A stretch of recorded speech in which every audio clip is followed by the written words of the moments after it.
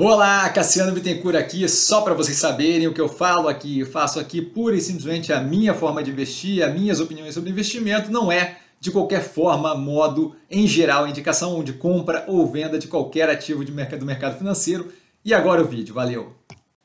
Olá, Cassiano Bittencourt, pelo Visão Estrategista, neste momento, para fazer a análise da Vale, tá? a operação ali mineradora com foco em minério de ferro, está com participação menor ali em metais básicos e reduzindo essa participação, como a gente viu nos últimos movimentos.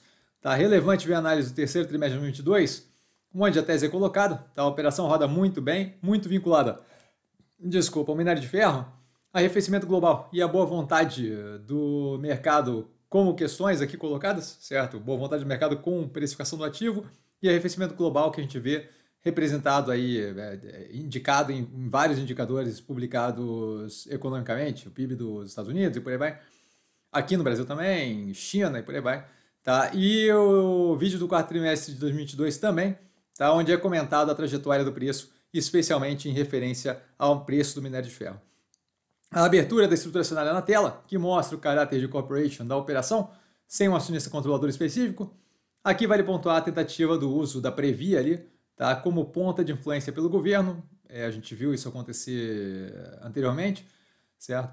A evolução do preço desde a última análise na tela, um pouco abaixo do preço na época.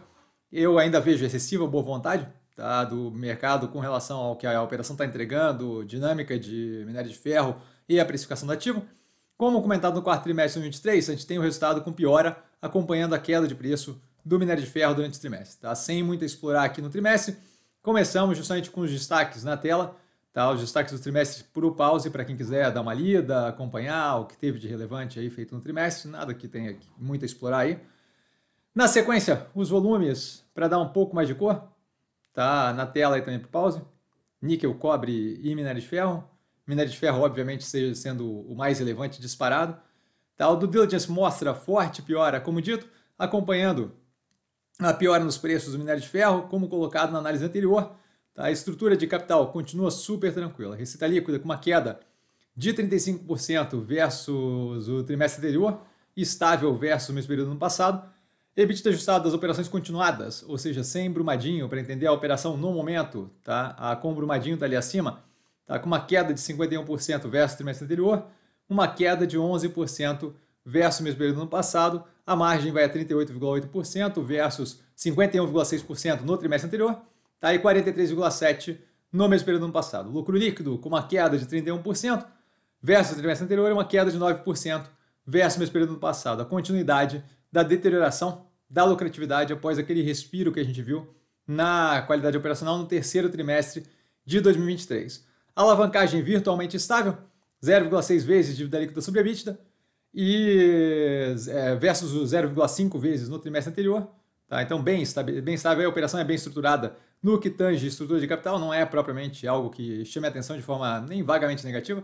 Tá? Com o trimestre novamente sem sangramento de caixa para os acionistas, uma tendência que a gente vê acompanhando a operação distribuir mais caixa aos acionistas do que tinha gerado no período. Tá? Na tela a gente vê justamente os proventos dentro do caixa gerado no período. A questão continua sendo o preço do ativo versus cenário, como comentado nas análises anteriores. Finalizando, veja a operação como positiva, tá? descasamento histórico da evolução do preço do minério de ferro e qualidade operacional me parece boa vontade excessiva, tá? quando a gente olha ali a precificação é, do, do, do, preço ativo.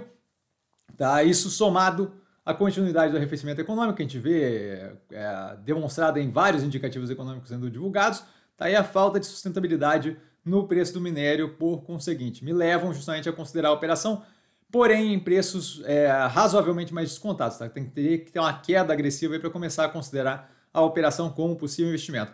Com um desconto extra pela questão de envolvimento em vários desastres aí, e a expectativa do uso desse mesmo modus operandi com metais básicos, ali cobre e níquel. Tá? E dúvida? Dúvida eu sempre no Instagram, arroba investir com sim, só ir lá falar comigo. Não trago a pessoa amada, mas sempre lá tirando dúvida e vale lembrar que quem aprende a pensar bolsa opera como um mero detalhe. Um grande beijo a todo mundo e nos vemos aí no Movimentos da Semana mais tarde, fechando o domingo e aí só amanhã na abertura de mercado. Valeu, galera. Beijão!